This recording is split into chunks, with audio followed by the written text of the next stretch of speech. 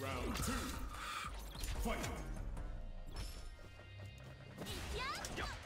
れでいいんだよな。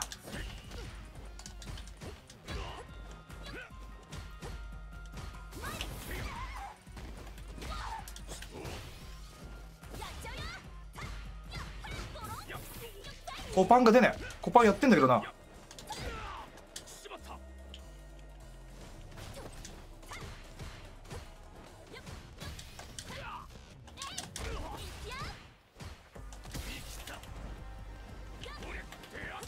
ちゃったやっちゃったやっちゃったあーで危ねえなんで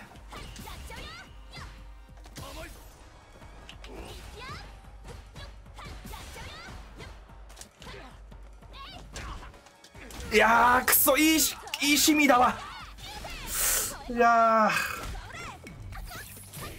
ちょっとね、ーはい相手の攻撃待っちゃってますね。あーそうですね。そうかもしれないですね。ううん。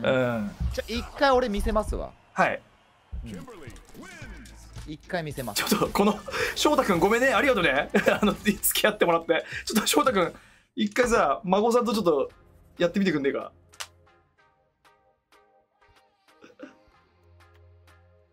いやすげえ来てくれてる。めっちゃくちゃ来てくれてる。まあ翔太くんじゃなくてもいいやあの誰でもキンバリーさんちょっと孫さんのとこに入ってあ翔太くん入ってるとかいやまああの立ち回りの波動拳のとこがやっぱり少ない。でこれあなんで少いなくなるかっていうと、はい。そのはその対空してないからなんですよ。あ対空がバランスよくできてれば相手って飛びにくいし、うんうんうん。地上の技もなかなか振りにくいしっていう感じになるんですけど、ーうんうんうん。それがある程度できるようにならないと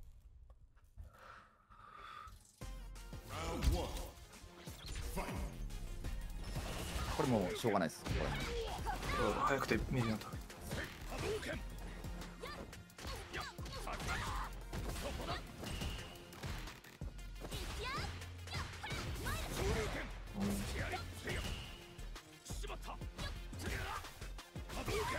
おっと。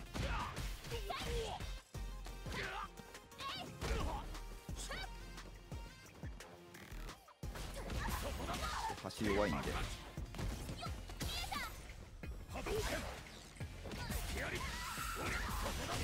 地上の技で戦う。う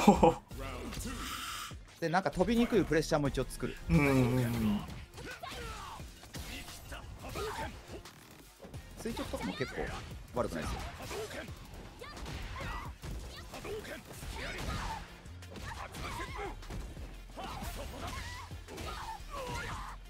出た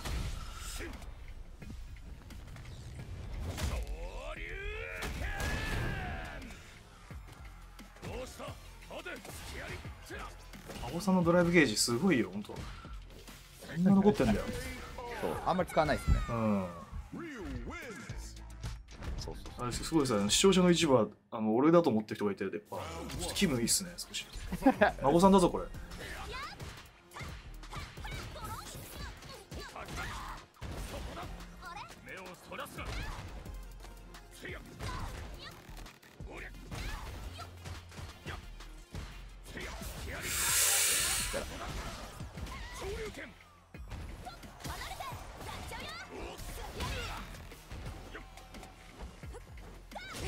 や孫さんは本当に国宝級の勝利権だからこれ。本当に。100%よ飛んだら。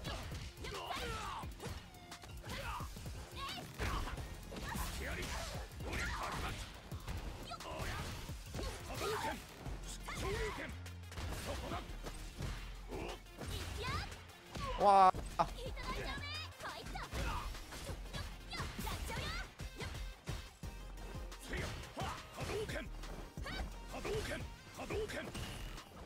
これは結構やっぱ釣られちゃいますね。あ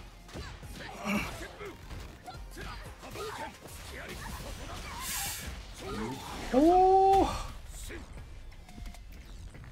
惜しかったなすげえ。でも翔太君もコンボミス1個あったから。まあ結構相手が萎縮してましたね。結構その俺がどこまで対応してくるか分かんないみたいな感じでヒンバリのやりたいことがあんまりできてなかったあ感じでしたかね。ー、なるほど。うん、やっぱ波動拳打つことによって地上からやっぱ走ってくるだとかうん、うんうんうんあの地上の技振るっていうことがなかなかできなくなってたんで、うんうんうんうんうん確かにその近中距離とかでわちゃわちゃしてて飛び合い合戦っていうのもまあありだと思いますし、うんその時ってあんまりヒンバリ強くないんで。う、ーんそうやられてる時はね。